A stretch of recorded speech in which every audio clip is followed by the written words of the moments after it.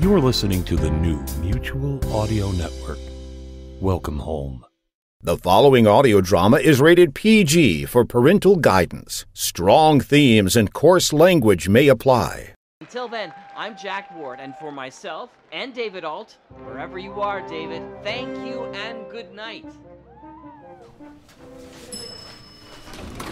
Oh, hello, John, Arnie, Brad. David Alt. Uh, fancy meeting you folks up here. Aren't you meant to be in the... Well, we were actually heading to the basement, but Yeah, the Brad hit the wrong button. No, I didn't. Yes, you did. I did not. Then why are we not heading to the basement? Because I hit the wrong button. Well, I mean, I thought I was supposed to meet Jack up here in the penthouse, and... And Brad thought that penthouse meant floor of dancing centerfolds. They've got to be around here somewhere. Yeah, There's I- windows up here. Look, guys, do you see that? They have windows here. I know. Um, look, excuse me, folks. Uh, just, um, I need to get down to the lobby.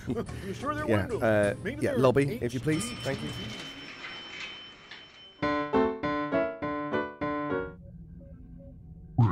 Hey, the tiki bar only has so many muskrats. I'll have Miles, my intern, look for some roadkill, and in the meantime, how about if I take you to this Arby's that's nearby? You know, Miss Bill, you don't really have to see Going down? Uh, yes, as rapidly as my patience, it seems. wouldn't have a Come on, fellas. Brunch is on me. Yeah, okay. Um, yeah, just tend to think of guys, uh, press in. before I Pl- say There's plenty of except when I uh, plenty of of room. Yep. If only this was a TARDIS. or a tortoise. How would a turtle make a difference? You know, my wife and I went to a turtle pun class last year. Uh-oh. What did you find out? It toured us nothing. Oh, that's horrible. Uh, Hey, why did you groan? You said it. yeah, but I heard it in my head first, and I still said it out loud. It's not punny at So all. that's on me. Is this how slow the elevator is? It's slower.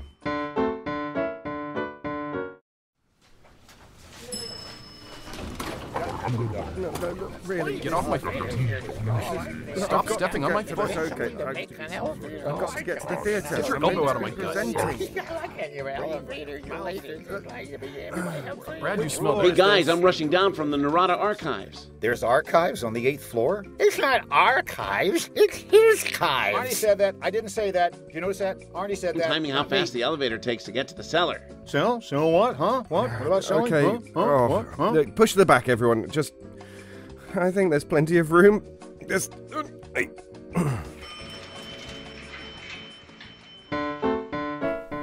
And ready, everyone?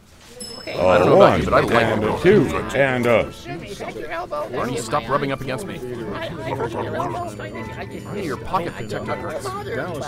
Everybody in! We're headed for the lobby! Which floor is this? Fifth floor. Special projects. There's the dancing centerfold!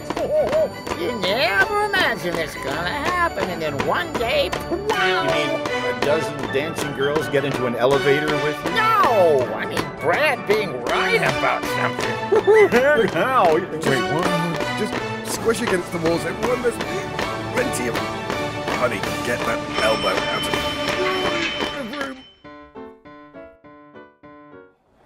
No, the Mutual Audio Network is uh, really a bunch of great people. Somebody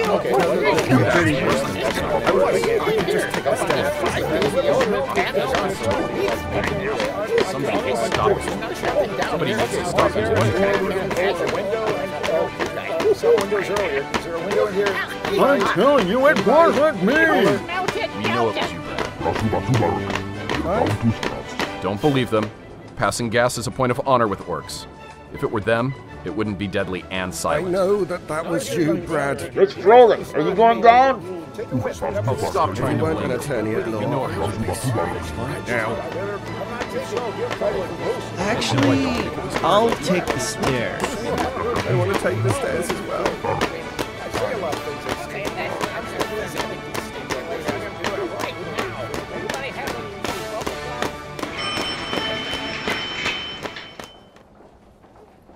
You know what, honey? Maybe we should take a vacation.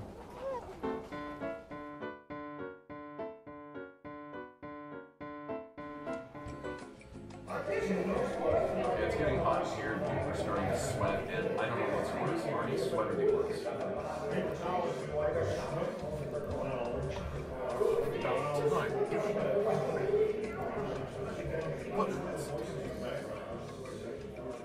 David? David? Are you in there? Jack. Yes. I- I've been in here for hours. Four hours and 32 minutes. I'm beating my record. Jack, Jack, can you open the doors? We're stuck just before the lobby. I'm I'm sure you can get it open. Hugo, you there? Can you reset the elevator?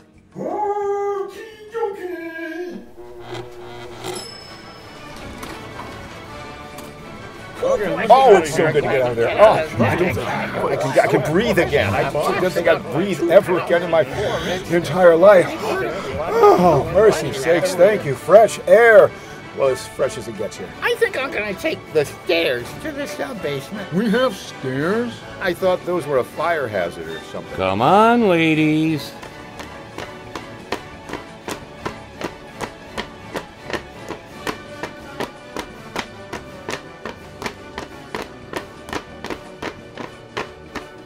Things are shaping up for the 10th anniversary show, Jack. 10th anniversary? Can never start too early. This is amazing.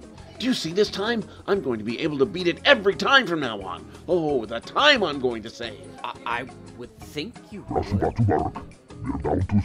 Uh, Jack, the orcs would like to complain. They are in good company. No, another 20 minutes, and they would have just eaten everyone in the elevator. Frankly, I'm glad you came by when you did. Of course, now I've got to go buy them food at Arby's. Take care, brother. Oh, the testing done, Mr. Ward. Well done, Hugo. Jack, are you saying that you kept us all in there? You, you kept me in there for over four hours to test the elevator? I missed the opening of Sonic Summerstock. Oh no, no, of course not, David. I I'd never do that. Mr. Ward just wanted me to test the sound tone of the elevator, whatever that is. You folks kept talking though, blah, blah, blah, blah, blah. Had to shut the elevator down and wait for everybody to shut up. Yeah, well, um, you know, Hugo, you could have waited until the elevator was empty. Mr. Ward, I'm a busy man. Busy, busy, busy. Not like you audio production, radio, drama types who sit around and talk all day. Talk, talk, talk. That's all you do. Some of us have real jobs, you know what I mean? like me. Have you ever pushed a broom around an entire building? No, I don't think so. Let me tell This is the Mutual Audio Drama Network.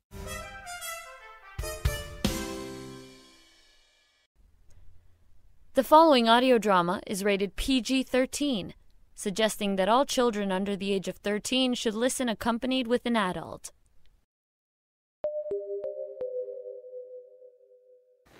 Oh, well, that was one extremely long week. You know, instead of meeting David at the Playhouse tonight, I think I'll tune in, like most people. We've got all the best reception at the Mutual Tower, and of course, here, up here in the penthouse. Tonight's performance is from Mark Slade and his players at Rocket 88 Productions, if I remember correctly. They're bringing us the classic Arch Oboler play from Lights Out Revolt of the Worms. However, this version, as it's coming back to me, has been somewhat slatified. Here we go. Just need to turn the dial, and there!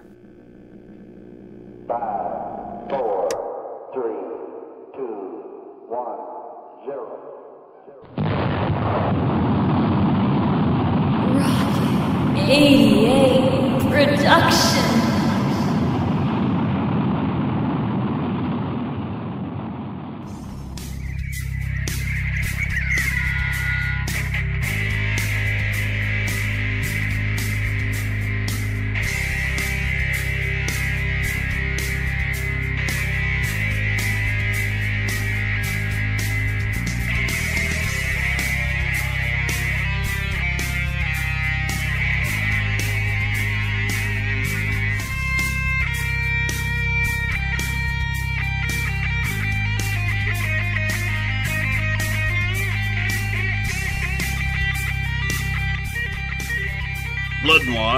crime and horror anthology show.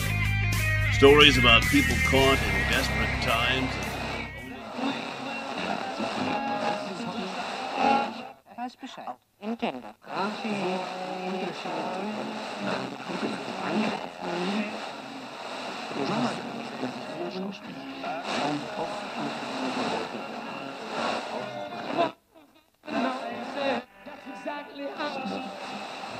Schon oh, gar nicht bei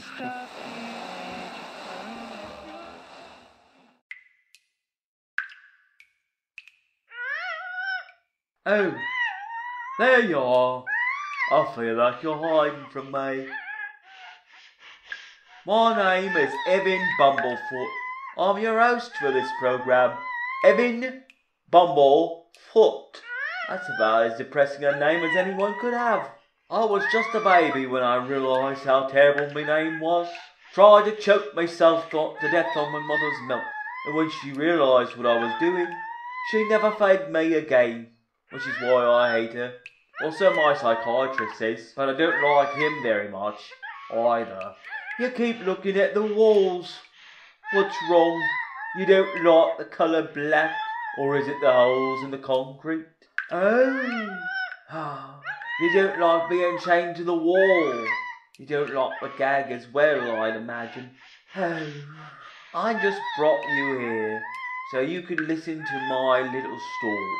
It's a depressing story about a man trying to create a new strain of roses. Instead, he creates a revolt of the worms. I think it would be good to have someone to be depressed with, like a suicide pact.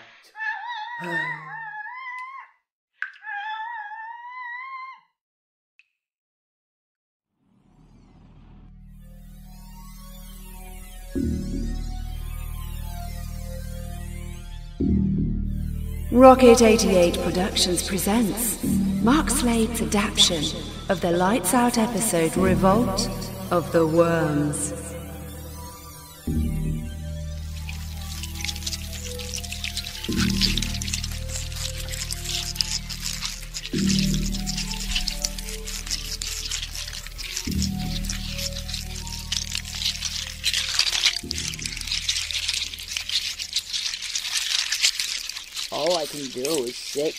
Wait for the floors to lift and the walls to crash in and the. Oh. Facts. Think of facts. Yes. Yes, a journal of facts. Think of how it began. Why it's happening. A journal of facts. Until the walls crash in and the thick flesh. Uh, Charles Prentice. Charles Prentice. There's a fact. Chemist. And fool. Fool, run away! Run away, run away, run away, run away. Oh, my Laven lady, run away from the thing with the crashing and the boom. Run away from reality. Run away from reality. Run away from reality. War, war, oh, war, so much war. There's war everywhere. War, war, war. Almost so much war. Oh, so much war the guns and the bombs and the pain of hiding. Run away. Run away. Run. Run away. You mean we're going to live in this god-forsaken place, Charles? Yes, Claire, I remember. You did say that. And I said, Of course we're going to live here. It's ideal for my work. But we're so far away from everything, Charles. So far away from what? Your friends? My friends? I hate it here. Honestly, if you weren't so big. Oh, I can't wait to get out of here and go shopping. All right, Charles. Whatever you say, Charles. You never did disagree with me, did you, Claire? It's so quiet up here, George. It's almost as if we were out of this world. Yes, I remember, young Jackson. You did say that. Sorry, George. I was thinking out loud. I got a head cold. I like working with you, George. Why, up here, it's almost as if we were out of this world. What, George? Who is George? Who is this George of which you continue to speak? Is he the one that binds while the Jack Benny does the fiddling? Out of the world. Out of the wild? I wanted to be out of the wild. Hide? Hide till it's over. Hide. Hide till it's over. Hide. Yes. Hide Why until not? It's over. Why not? What are you going all the way up there for, Prentice? To do my work, of course.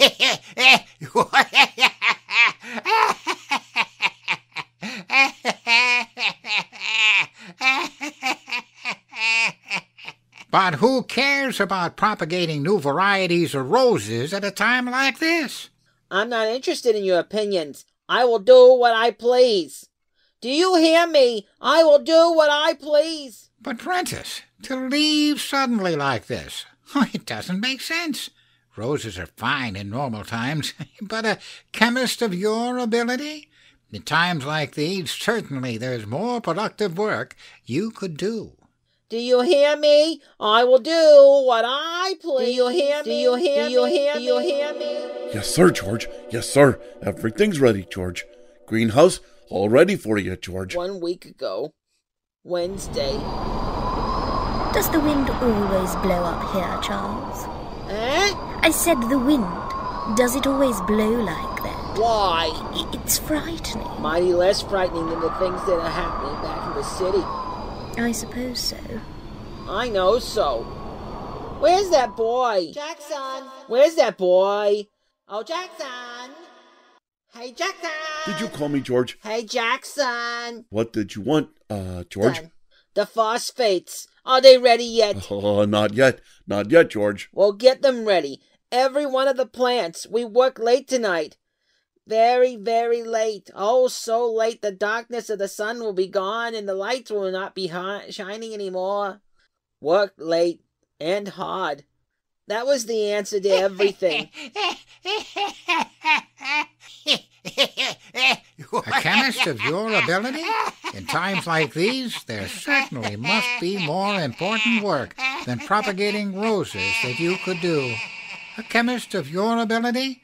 In times like these, there certainly must be more. Must be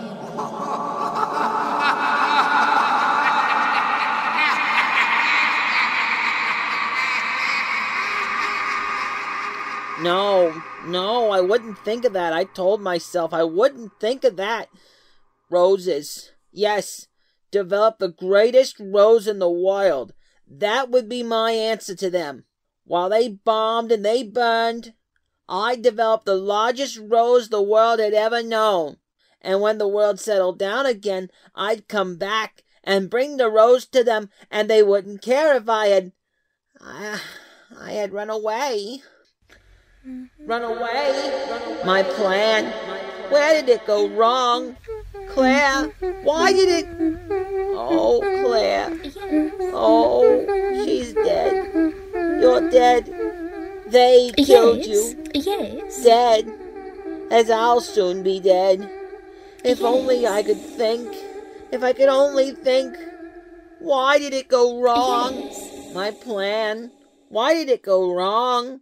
Oh, Claire, why did it go wrong, Claire? Oh, Dad, you're dead. Hey, George, where do you want me to put the solution that's left Yes. over, George? I do remember. That was it. Yes, I do remember. Oh, gosh, George, I'm trying to understand, but I'm so tired. Yes, I do remember. That was it. You must keep working. The only salvation is work. What salvation got to do with roses, George? I like roses, George. They're pretty. Don't be impertinent. Okay, George, don't get mad. Do your work. Okie dokie. Two cc's for each plant. And careful. Don't let any of it touch the stem. Yes, George. Okie dokie. You weren't very happy, were you, Jackson? Those were the things you couldn't understand. Questions. It it ain't that I I, I don't want to work, George. It's it's just that I'm all mixed up. Them roses. Why I gotta pour the stuff on 'em every hour on the hour? It don't make sense, George. Everlasting questions. But now I ask them. Ho- hormones? Sure, I know what they are. Uh, see, secretions from the glands in the human body. Questions. Everlasting questions. But now I'm the one asking them. Why did it go wrong? Sure, I, I I know what they're for. Make us grow and everything, right, George? Questions, everlasting questions. But now I ask them. I ask them. Why did it go wrong? I get it. That's that's what you try to do with the roses. Make them grow fast and big. But how do you know these hormones will work on plants, George? Thursday. What do I remember? Where will I throw the hormone mixture that's left over, George? Go away! Can't you see that I'm working? I am doing the things that Hey, are important stuff, more than important than talking to you and asking of the questions. I said, where will I throw the Asking of the hormone? questions, all the questions, all the time. Yes, I remember. Yes, I remember. Friday.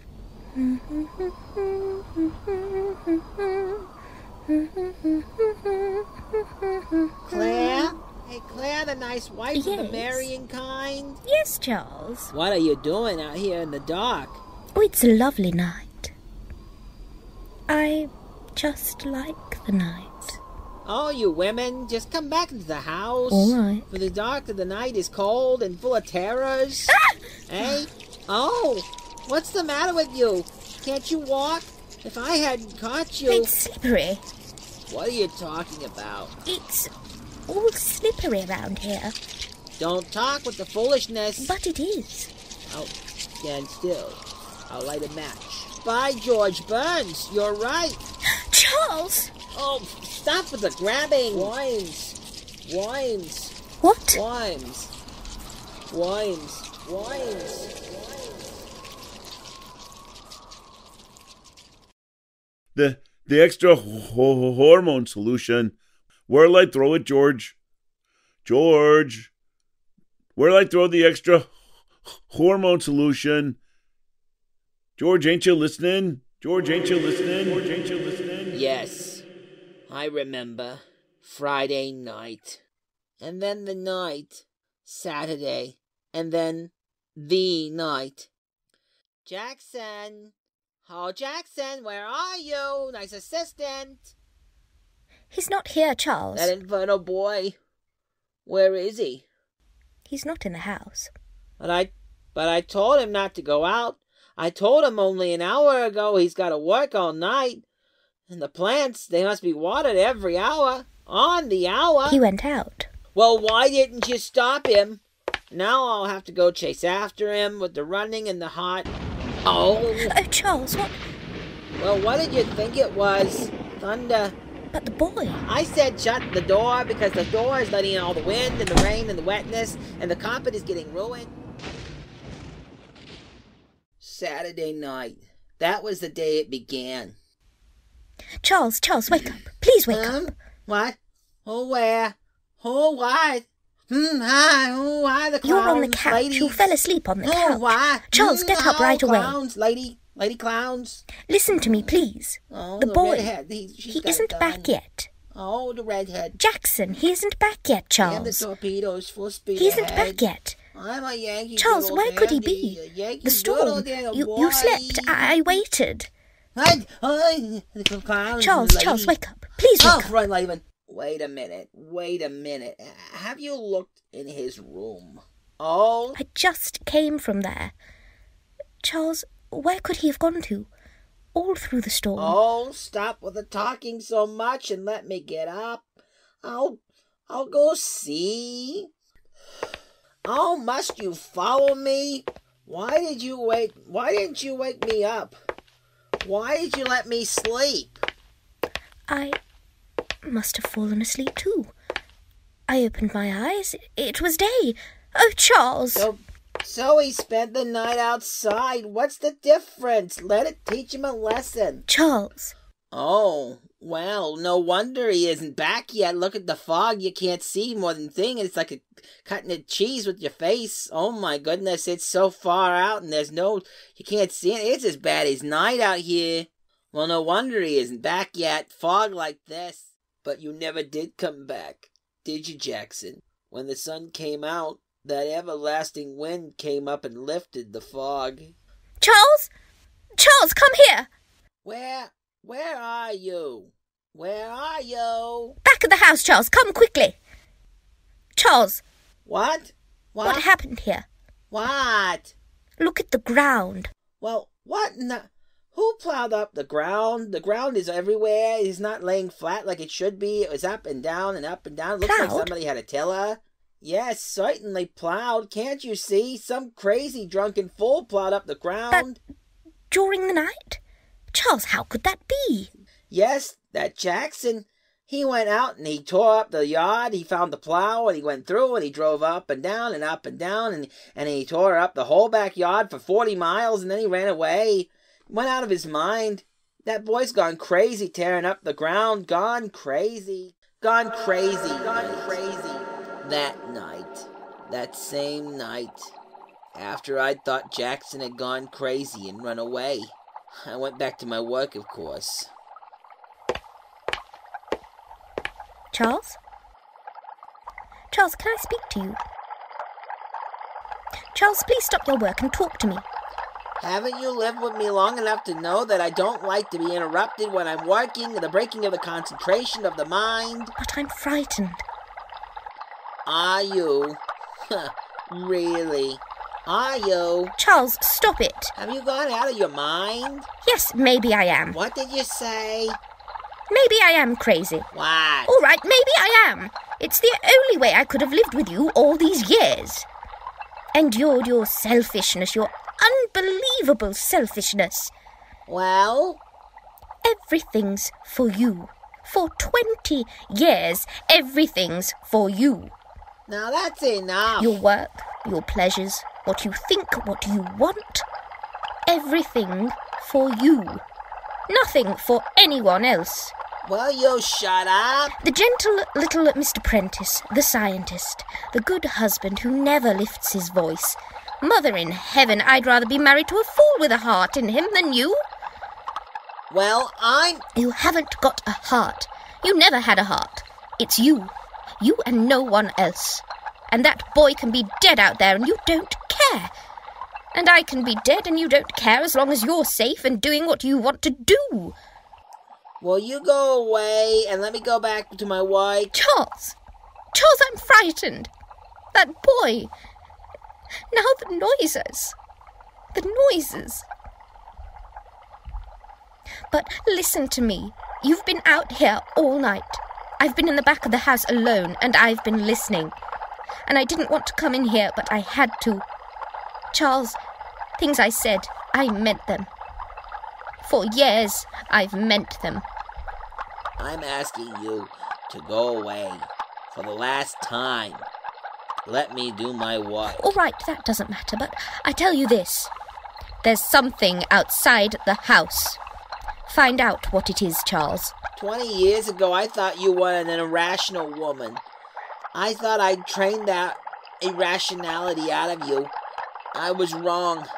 I'll humor you this once, but never again. Where are these noises? At the back of the house. The lantern, then. Hand it to me. Yes. Thank you.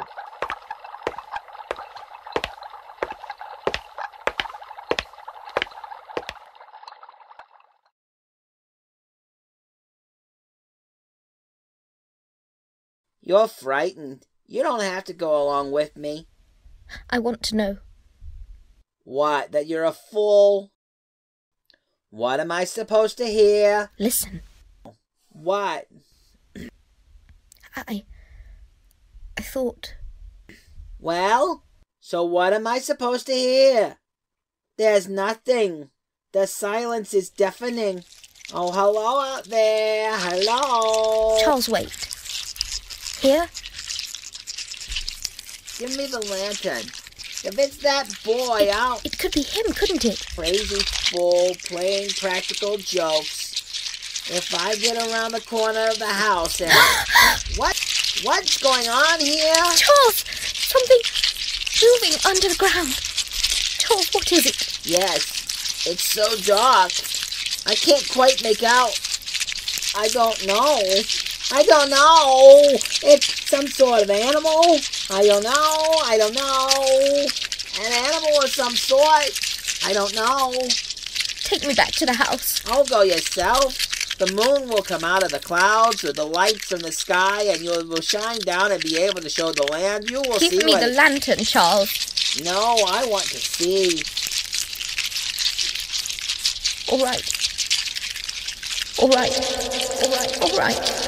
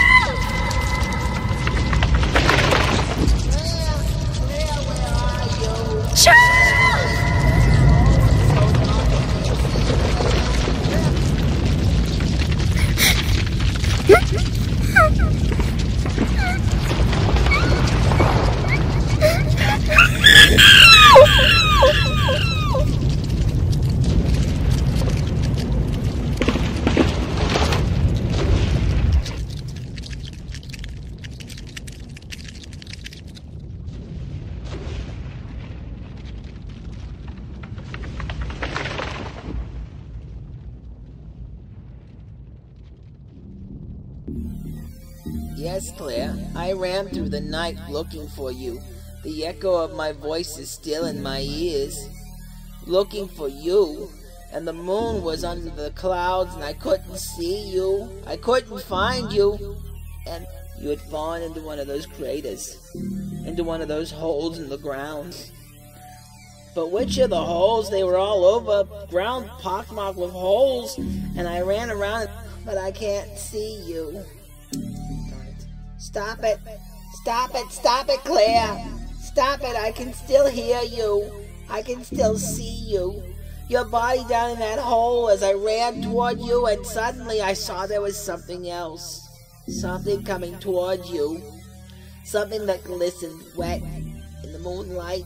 Something long and slimy. A great twisting snake, yet not a snake.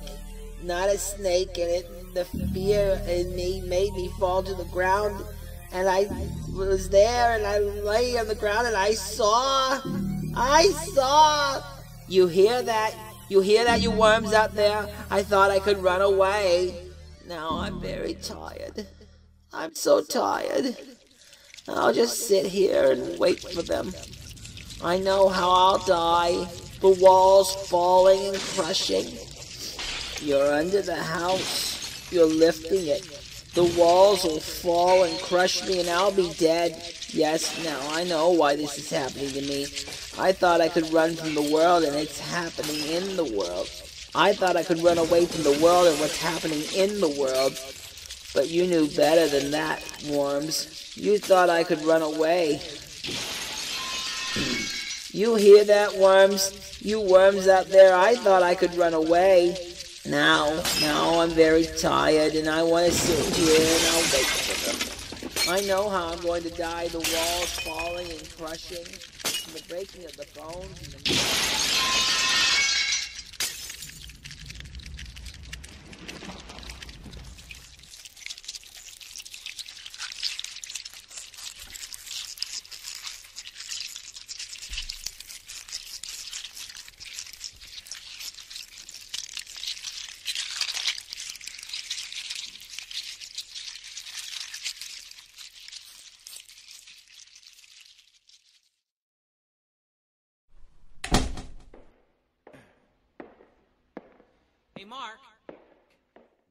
have the episode ready yet? I've been waiting for two months. Ah! Ah! Oh God! He's got worms coming out of his eyes!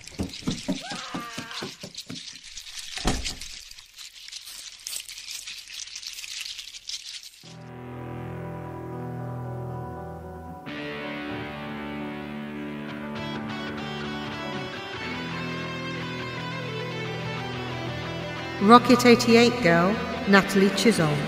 Horror host, Charles the Chemist. Wesley Critchfield. Claire, his wife. Zoe Jenkins. Jackson, his assistant. Pete Lutz.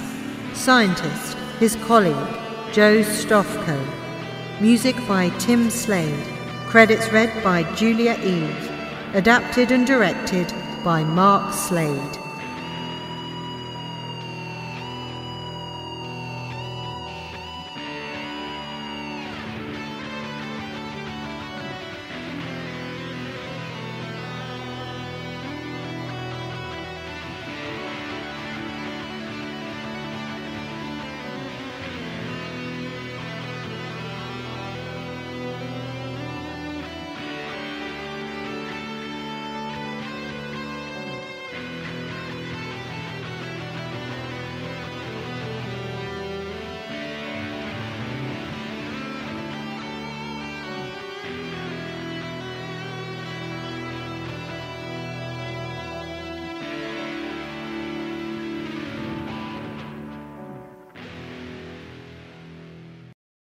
Apparently, you enjoy listening to audio dramas since you're hearing this message.